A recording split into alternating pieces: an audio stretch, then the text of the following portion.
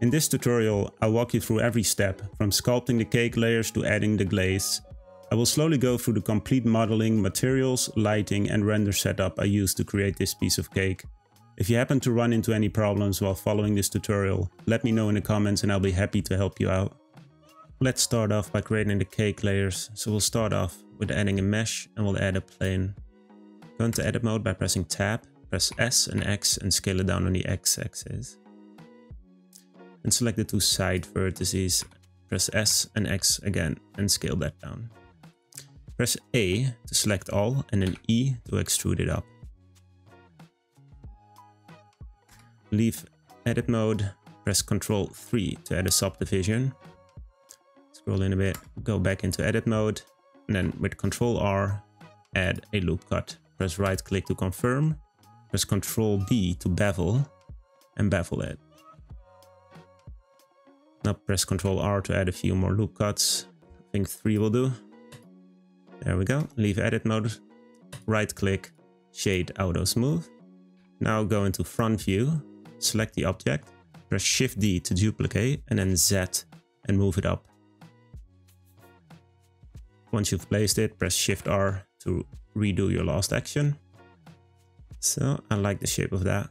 Here you can still change the shape of your layers. If you select all of them, go into edit mode, press A to select all.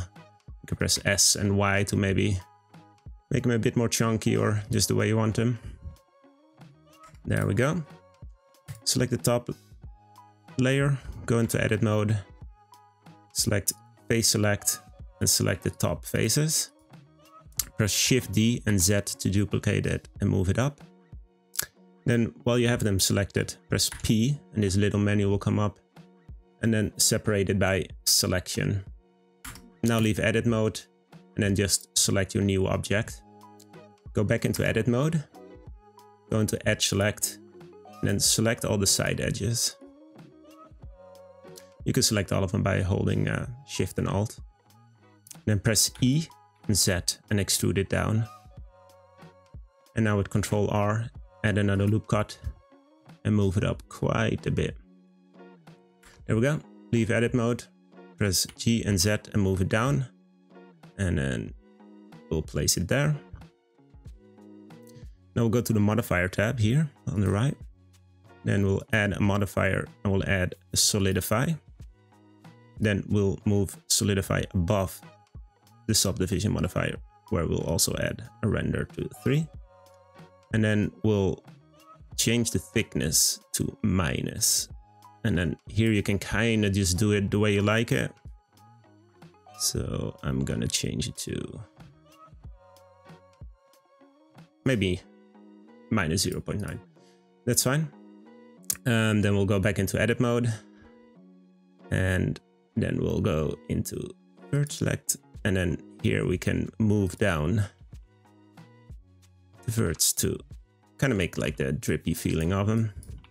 Kind of like moving them up so they're above the top layer a bit so it shines through. But you can do it just exactly the way you want. I think I want to add another loop cut here as well. Like that. So then we can move this one maybe down. Now let's, I'm gonna move it up. Now we'll move this one down. And then the back side. We'll move this one down and we'll move this one down. And then there's one there. It will move up. And then move this one up a tiny bit as well. And then I'm gonna move this one down a tiny bit. Yeah, I like how that looks. Okay. So as you can see, it's a bit bigger than the layers here. So if we select all, press S to scale and then Shift Z We'll only scale it on the X and the Y axis and we'll scale it down just so it looks good. There. Looks perfect. And then with G and Z we can still check like, okay, that's where the top layer comes through. So we'll move it down a tiny bit. There. Yeah, it looks good. Okay, let's add the chocolate piece. So press Shift A, add a plane, press G and Z to move it up. Go into edit mode, scale it down. There, and then S and Y to scale it up in the Y axis. Then we'll press E to extrude. And then with Control R, we'll add two loop cuts there, and we'll add one loop cut there. go face select, select all the top faces, press I to inset, and we'll just inset like that. And then press I twice, so we inset on each face. And there. Then press E to extrude it up. And then press your period point to change the pivot point to individual origins. And we'll scale it down a tiny bit. Press I to inset and then E to extrude it down.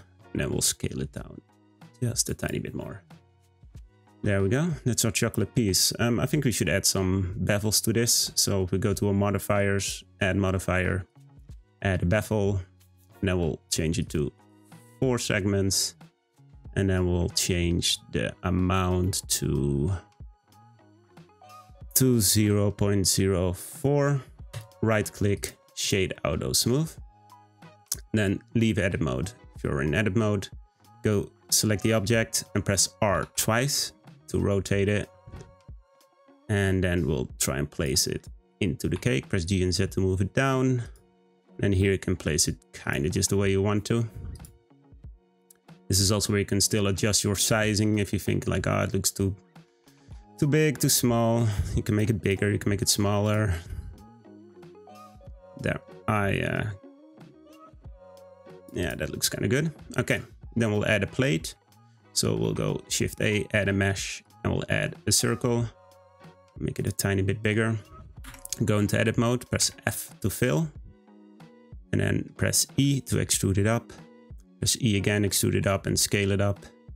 Press E again, extrude it up and scale it up.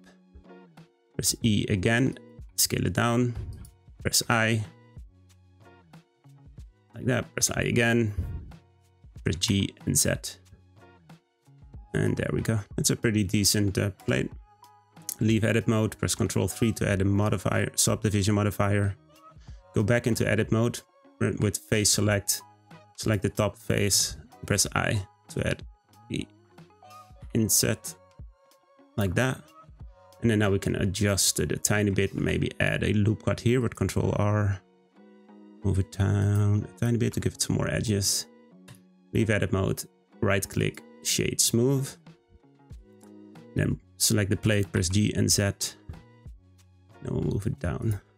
Now if your plate is too small, I think mine is a bit too small, go into edit mode, press A to select all, press S and then shift Z to scale it upwards in the X and Y axis. And there, I like that a bit more. There we go. Press A to select all, go into front view and then move your whole object up so it's on the x axis. So then we'll add another plane, go into edit mode and scale it up. And then we'll rotate it there. 45 degrees, go into edit mode, go edge select, select this edge, press E and Z to extrude it up. Select this edge again, press Ctrl B to bevel, and then with your mouse we'll increase the bevels. There, leave edit mode, shade smooth. Press Shift A and add a camera. Go into camera view, press G and Z twice, and then move your camera back. Change the output settings. We'll change the resolution to 1920 by 1920. There we go. And then we can move it up and kind of position the cake the way we want to there, kind of like how that looks.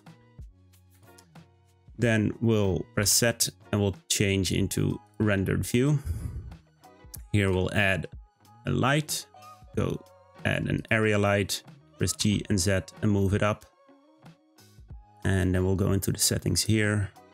We'll change the shape to disk, the size to 3. We'll increase the power to maybe 75. Looks decent, I think. Yeah, that looks fine. Then we'll uh, change the color of the light to give it a tiny bit more of a yellowish feeling. I'm gonna use this hex code. There we go. Now maybe move it up a tiny bit more. Press period point to change your pivot point. Change it to 3D cursor. then press with your light selector, press Shift D, R, X, 45 like that. And press G and Z twice and move it backwards a bit. And then press Shift D, R, Z, 90. And then that looks pretty good. Select your top light again, press Shift D, and then move it backwards so you could go into top view. And then we'll move it somewhere there to create a bit of a light in the background. Let's see, look in our camera. There, we can see it coming through. Perfect. Okay, then we'll go into our render settings and we'll change the render engine to cycles. Just device to GPU compute. Color management, go to look and go to medium high contrast. Then we'll change the world color to nice red color. And then let's start adding the colors for the background. Select the background, go to material settings, add a new material, call it background, change the base color to a nice orange color. And I'm gonna change the roughness to around 3.35. Yeah, that looks good. Then we'll add the plate color, new material, call it plate, change the color, just a slight difference and then change the roughness to 0.2. There we go. Also, if you uh, press Ctrl B while in camera view, you drag around your camera, you'll only render that place, so it's easier for your computer. Then we'll add the dark chocolate layers. So select the bottom layer, add a new one, call it the dark layer. Go to base color, and then we'll change it. There we go. And then we want the top layer to be the same as that color. So select the top layer, hold shift, select your bottom layer, press Ctrl L and then M to link the materials. And then it will have the same material as the bottom layer. Select your middle layer now. We'll call this light layer. Add a base color. You can just pick the colors you like. I just picked some colors I like myself, but you can do it just the way you want to do it. Then for the glaze, um, we'll add this we'll add, call it a glaze. The first thing we do is change the transmission all the way to one and change the roughness all the way to zero. That already looks kind of good, but I'm gonna give it a very bright color. Because I think, yeah, something like that. There we go. All right, and then we'll add a nice color for the chocolate.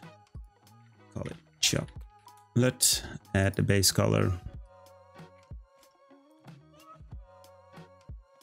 Then change the roughness to 0.35 and this needs to be way darker, of course. I think maybe change it there a bit. There. Yeah, that looks great. And that's basically it. I really hope you enjoyed it. If anything was unclear or you have any other questions or requests, please let me know in the comment section. If you decide to post your artwork on Instagram, tag me in it since I'd love to see your work. If you found this tutorial helpful, consider supporting the channel by subscribing and liking the video. And remember, the more you practice, the better your 3D skills will become. Thank you for watching and good luck.